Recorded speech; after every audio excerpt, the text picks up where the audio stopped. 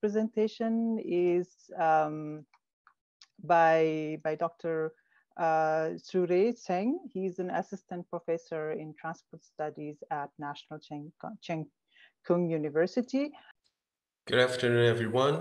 My, my name is Tsu-jui Chen. I am an assistant professor in transport studies at National Cheng Kung University in Taiwan.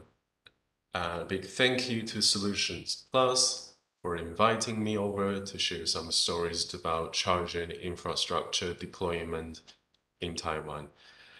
And in the next 10 15 minutes, I'll very briefly go through the status quo of Taiwan's transport sector and how it's been working on the e-mobility charging infrastructure at the national level and at the local level. And I'll be finishing by the lesson learned and I think there would be opportunities we could talk in more details in the workshops or in trainings. So first of all, let's have a quick look into the status quo of Taiwan's transport sector. I think the best way to understand Taiwan's transport sector is to look at the modal split.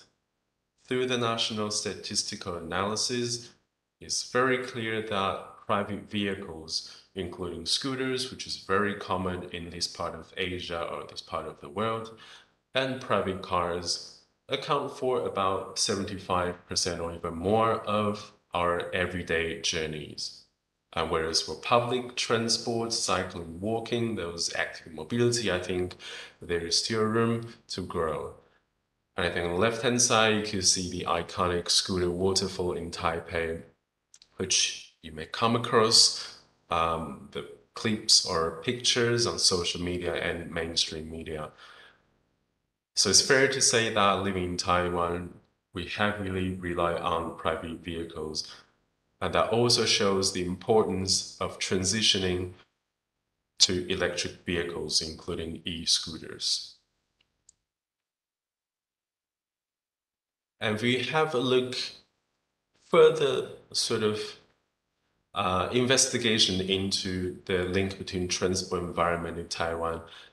And tell just simply because the private vehicle takes the main stage um, of the uh, our everyday trips. So it's inevitably private cars and scooters account for, I would say, again, 60 to 70% of the transport emissions. Even though transport only accounts for 12 uh, about 12.5% of the national total emissions and the fourth biggest emitters. However, road transport accounts for almost 100%, as jaw-droppingly 95.57% of total transport emissions.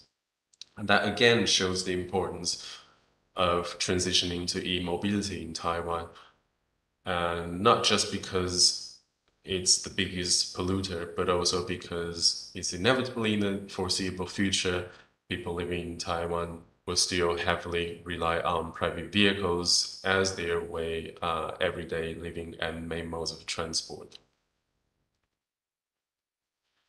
If I may share a little bit more information with you from the ownership of private vehicles, and it's even more evidential that um, for every 100 population, there are 94.6 scooters, and for every 100 population, there are 34.8 cars in 2020. So you could say for every single Taiwanese, we actually own a scooter for ourselves, uh, which can be quite a um, issue. I think the government has been aware of the ever-growing um, sort of number of scooters and cars, and there are quite a few um, uh, uh, so policies and strategies that are in place or in the pipeline, which uh, we will talk about in the next few minutes.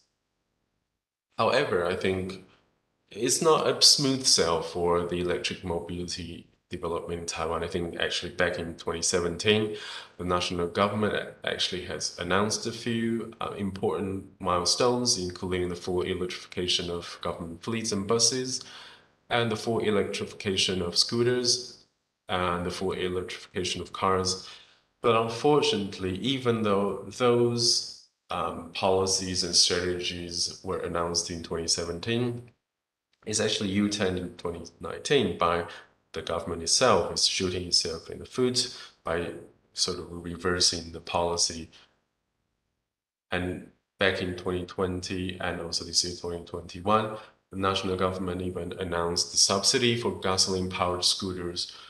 And the subsidies actually it's almost the same as that of the e-scooters and that was sending quite a sharp wave to the e-scooter industry because you could see in this um, data that even though in 2018 2019 there was this trajectory of the uptake of e-scooters in taiwan in 2020 you could see the setback in this e-scooter industry due to the introduction of the, I would say, the distorted subsidy for gasoline-powered scooters.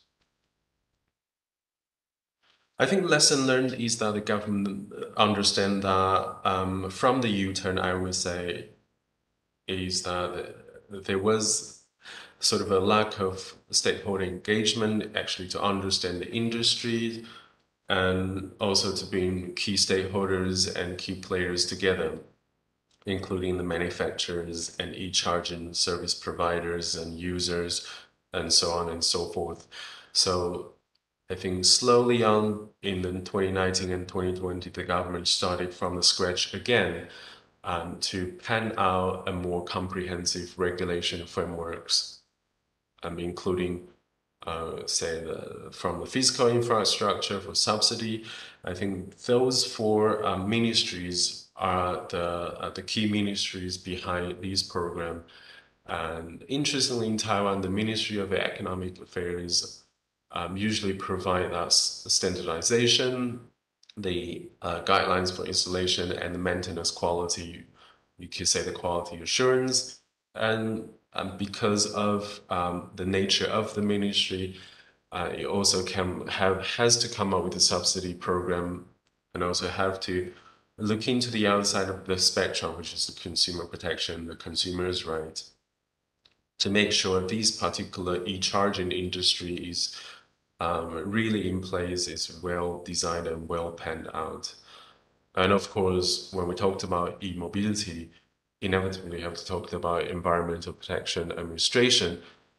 For all those e-scooter charging programs, the subsidy programs, are actually derived from funding from the Environmental Protection Administration. So you can see there's a, a clear division of responsibilities between government agencies, whereas Ministry of Economic Affairs is put in charge of electric cars and the Environmental Protection Administration is put in that place to take care of electric scooters. But after all, I think um, in terms of the infrastructure, it's the uh, responsibility of Ministry of Interior to announce the building requirement and the building regulation as well as fire safety regulation. And for the Ministry of Transportation, um, it has the responsibility to look into the space available, such as the parking lots and also the public facilities, that has the potential to provide spaces for electric vehicle charging infrastructure. However, I think uh, the national government, despite the fact I think the national government has announced a few um, political and regulatory frameworks. It's all down to the local level that cities have to take actions to really deliver the e-charging infrastructure along with the uh, the transition to e-mobility. So, whereas national governments are are are in the right position to pan out the the regulatory framework, local governments are the ones who have to be creative, who have to come up with strategies and action plans. So here's an example from Taichung. The reason that, that I picked example is simply because uh, is now having a very good momentum uh, in that transition to e-mobility. Uh, it's the sort of a runner-up to, um, of course, to Taipei as to um, giving out subsidies or encourage the uptake of um, e-mobility. So there are a two-pronged um, approaches in place right now in Taichung. One is the public sector leads the way, private sector follows up. For the private sector to to set a rule book and to give the incentives. And I think on the other hand, uh, Taichung City also um, sort of encourages the public-private collaboration, which I will be uh, giving a bit more substance in the next few minutes. So interestingly, as opposed to if I may go back um, to this slide again, that you can see very clearly at the national level, it's all about responsibilities. Which agency or which ministry has to take care of which I would say regulations or framework and subsidy program. Whereas interestingly, at the local level, it's all about the actions and the problems. So the way they categorize the issues is by categorizing tasks, action plans, be regulations, be space, and be incentives. So for regulation wise, it's very clear that it comes from uh, the existing national regulations. However, local governments have the ordinance, have the autonomy, the freedom to make their own ordinance under the existing framework. And the low carbon city ordinance is a very popular one in Taiwan so that the governments have the freedom or also have the flexibility to give out incentives, to give out subsidies, and to bring in stakeholders. I think space is the issue, not only in Taiwan, but also in many other uh, other countries as well. Uh, by introducing charging facility, we are bringing back the parking spaces, which uh, most of the cities have tried so hard in the past decade to remove. And uh, however, I think um, uh, some cities in Taiwan are, are, are trying to be creative by utilizing the existing parking facilities um, to um, sort of to allocate uh, 20 here, as we can see, 12% of the space for charging facilities, or at least one charging spot for every 50 spaces, 50 parking spaces. And the Taichung city also has um, gone the extra mile to uh, bring all the government agencies, local government agencies together and to um, I would say to mobilize the resources as to how much of the space they can uh, they can use. Not only the transport bureau, uh, on the transport bureau there are definitely parking facilities, but also in museums and in cultural centers and uh, in, in sort of libraries, wherever there are uh, extra spaces or abandoned spaces, there are the opportunities for Taichung City or local governments in Taiwan to transform those spaces into something that is more incentivizing for uh, the, the installation of electric vehicle charging facilities. And for incentives wise, I think um, it's, it's usually very hard to bring stakeholders together, especially from the private sector when the signal is not entirely clear. And uh, however, I think for in, in, the case in Taiwan, the Environmental Protection Bureau always has that extra uh, budget to actually bring in or encourage public sectors to install the charging stations. Here, when we say the public sectors, and they can be the shopping malls, they can be um, the commercial sort of uh, business premises and office buildings, or even universities as well they can apply for the subsidies to install charging stations on their properties or on their land. And eventually, I think uh, for charging at home, it's quite a barrier, which I will touch upon later on as well. Um, so uh, local governments actually are now encouraging the installation of charging spots in housing complexes. I think it's it is very familiar to many of you here simply because Asian cities and countries are usually quite densely populated and we definitely have to find a way for uh, the residents living in the same housing complex to share charging spots. And sometimes even installing charging spots in the shared parking garage would be very challenging. And last but not least, I think looking forward, um, there are, I think, if I may say, three main key challenges to be resolved or needs to be resolved. Uh, first of all, is the policy and regulations. As you could see early on, that there is a bit of a tricky or gray area for horizontal integration, and it's always a tug of war between Ministry of Economic Affairs that has the budget, has the funding, has the money, and the Ministry of Transportation, which usually is not so well off as opposed to the Ministry of Economic Affairs and the Environmental Protection Administration, whereas however, Ministry of Transportation usually owns the properties, the infrastructure, parking lots, railway stations, the key transport interchanges.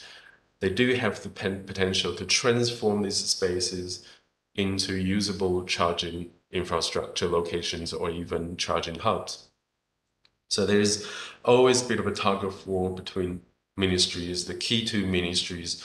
But at the end of the day, I think we have to think about which ministry is actually is in charge of decarbonizing transport. I think at the end of the day, it is Ministry of Transportation who has to wave the flag, um, sort of um, of decarbonization of transport. However, if it's in the realm of Ministry of Economic Affairs, that will be really hard to go that extra mile to really decarbonize our transport. I think at the end of the day, at the back of the government's mind, I think that's an issue that will emerge in the long run or in the midterm as well.